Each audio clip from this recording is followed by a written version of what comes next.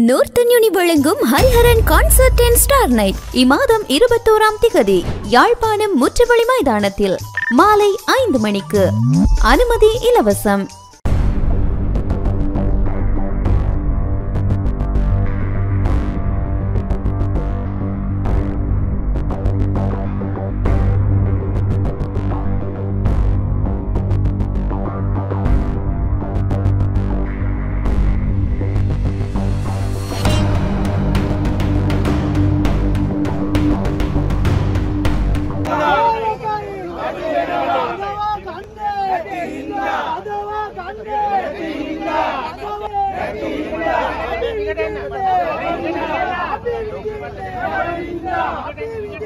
இலங்கையில் நுவரலிய மற்றும் கண்டியில் இருக்கின்ற பிரதான தபால் நிலையங்களை விற்பதற்கு எதிர்ப்பு தெரிவித்தும் தபால் ஊழியர்களுக்கான கொடுப்பனவை இருபதாயிரம் ரூபாவாக அதிகரிக்கப்பட வேண்டும் என்று வலியுறுத்தியும் வாழ்க்கை சுமையை குறைக்க இந்த அரசாங்கம் நடவடிக்கை எடுக்க வேண்டும் என்று வலியுறுத்தியும் இன்னும் பல்வேறு கோரிக்கைகளை முன்வைத்து இன்றைய தினம் பத்ரமுள்ள பாராளுமன்ற வீதிக்கு முன்னால் பொழுதுவ சந்தையில் தபால் ஊழியர்கள் சங்கத்தினர் ஒரு மாபெரும் எதிர்ப்பு ஆர்ப்பாட்டத்தினை முன்னெடுத்தார்கள்.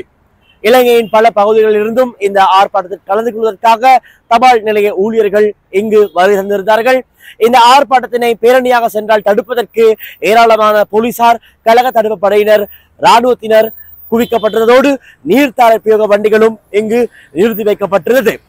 குறிப்பாக இலங்கை பாராளுமன்றத்திலே இலங்கை ஜனாதிபதி ரணில் விக்ரமசிங் உட்பட இந்த அரசாங்கம் எடுக்கும் நடவடிக்கைகள் முக்கியமாக இலங்கையில் இருக்கின்ற வளங்களை விற்பதற்கு எடுக்கின்ற நடவடிக்கைகளுக்கு எதிர்ப்பு தெரிவித்து ஒருபோதும் இலங்கையின் வளங்களை விற்பதற்கு இடமளிக்க மாட்டோம் என்று வலியுறுத்தியும் அப்படி செய்ய ஆரம்பித்தால் அவர் நடவடிக்கைகள் தொடர்ந்தால் நிச்சயமாக இந்த அரசாங்கத்தை மாற்றுவதற்கும் இவர்கள் நடவடிக்கை எடுப்பதாக இது மற்றொரு புதிய ஆர்ப்பாட்டமாக உருவாகும் என்று அவர்கள் எச்சரித்துவிட்டு இப்போ சொல்லியிருக்கிறார்கள் ஆர்ப்பாட்டத்தின் இடைநடுவே ஊழியர் ஒருவர் ஆர்ப்பாட்டத்தில் கலந்து கொண்ட ஒருவர் வீதியை மறுத்து நடுவில் அமர்ந்த ஆர்ப்பாட்டத்தை தொடர்ந்ததால் அவர் அரசாங்கத்துக்கு எதிராக கூச்சலிட்டதால் போலீசார் அவரை பிடித்து கைது செய்ய முயற்சித்தார்கள். இதன் போது ஒரு அமைதியின்மை ஏற்பட்டது. இருப்பினும் அவரை கைது செய்ய அவரால் முடியவில்லை.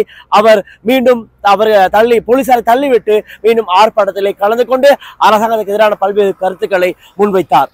ஆகவே அவர்கள் முக்கியமான ஒரு விடயத்தையும் இந்த இடத்தில் சொல்லிவிட்டு செல்கிறார்கள். எதிர்வரும் பத்தாம் தேதி மாலை நான்கு மணி தொடக்கம். தொடர்ந்து நாற்பத்தெட்டு மணித்தியாலங்களுக்கு மேலாக வேலைநிறுத்த ஆர்ப்பாட்டத்தை தொடர்வதற்கு இருப்பதாக அவர்கள் இந்த இடத்திலே பதிவு செய்துவிட்டு சென்றார்கள்.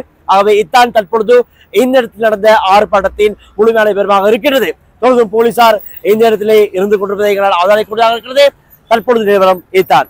லங்கா செய்திகளுக்காக பத்திரமுள்ள பாராளுமன்ற வீதிக்கு முன்பாக இருந்து நான் டில்ஷான் வின்சன்.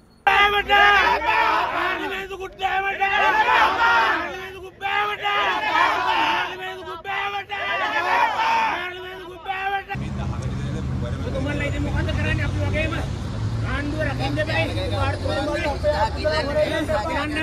අපිට උත්තර අයිතිවාසිකම් දෙනවා තමුන්නාන්සලා නෑ.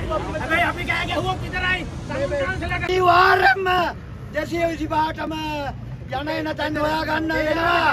ඒ නිසා අපි පැහැදිලිව කියනවා. මෙරට සම්පත් විකුණනට විරෝධය දක්වන්න කියලා. එහෙම නැති වුණොත් විදුලි 225ටම ගම්බුල්ට යන්න වෙනවා.